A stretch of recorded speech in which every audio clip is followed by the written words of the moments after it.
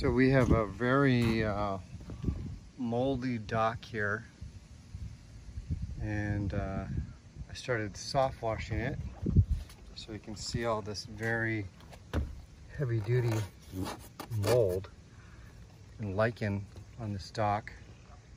Here's my soft wash hose. You can see already that it's lightening up and brightening up and getting a lot nicer so this thing doesn't get slippery and people don't fall off and end up in the lake if they don't want to be in the lake.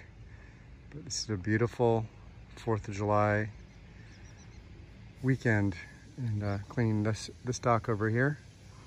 We just got done washing this whole house, cleaning all their patios and their windows and wishing you a happy 4th of July 2020.